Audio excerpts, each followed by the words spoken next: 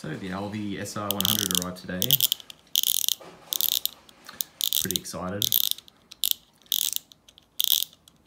Just one tiny little issue that I uh, didn't anticipate.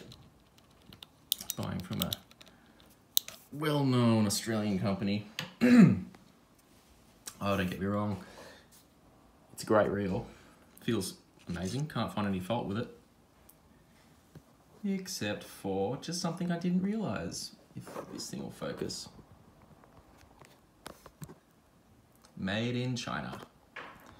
So, turns out these reels, Australian owned, designed in Australia, made in China. If I knew that, I would have bought Japanese. I really don't give a shit how good the reel is.